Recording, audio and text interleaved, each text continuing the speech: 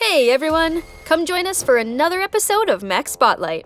Looking at today's star, I'm getting a sense of deja vu. It's a tank, it has an awesome shield, and its name is inspired by ancient Greek mythos. Meet the one and only Aegis. Actually, the Aegis might not be a shield at all, and. No history lessons. Let's get on with the spotlight. Right, right. So, imagine a juggernaut with the speed of a panther and a fancier shield. That's terrifying. Wait, you serious? Yep.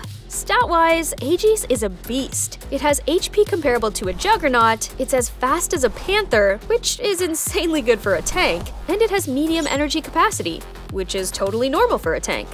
And totally awesome for just about any mech out there. The super heavy weapons are off the table, but all the really strong workhorse weapons are accessible. Missile racks, carbines, javelins, and even lighter stasis beams and long arms. On top of its other stats, which sound like they're off the charts. They're really good. You're not wrong.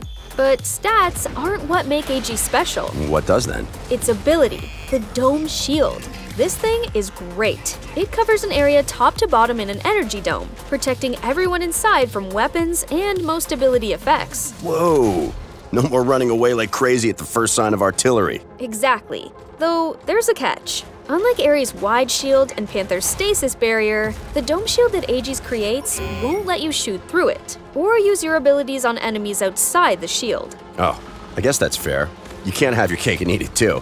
And, um, you said the dome shield blocks most abilities. What can go through it? System crash. Of course, those damn guardians just can't leave me alone. Hey, being a pain in the neck is their job.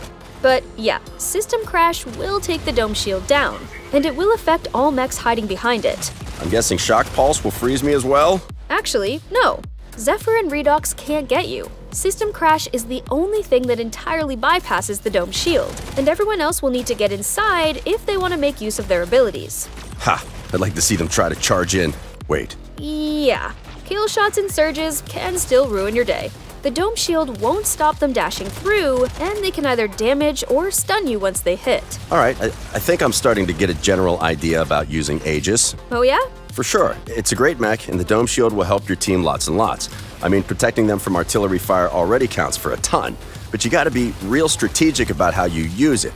Your teammates won't be very happy if you block their line of fire with a huge impenetrable bubble. I know I wouldn't be.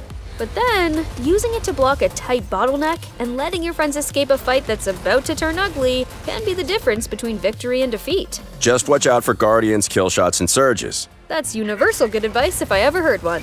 And since you know Aegis so well now, care to recommend some weapons? Hmm, I actually think Aegis can be very flexible. It's fast, it's tough, it can carry big guns, missile racks, carbines, disc launchers, Anything that can work for shorter middle distances to make sure you've got a chance to fight back if someone gets under your dome. Yeah, agreed. I'd say avoid sniper weapons as well.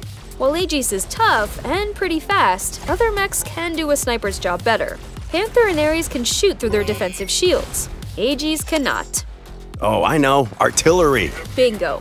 Though you can't protect your team while sitting behind the front lines, Aegis is a great artillery platform. It can fire off a salvo of rocket mortars or javelins, then hide under the dome shield if enemy artillery tries to get back at it. Feels almost like cheating. Well, no. If enemies catch you up close, you're toast. You can't delay retribution by deleting their ammo like Guardian or slowing them down like Redox. I guess that's true. Like I said before, advantages and drawbacks, and that's how proper balance works. And proper balance is what we strive for in Mech Arena. But that's about it for Aegis. We hope you guys enjoyed the spotlight. See you next time.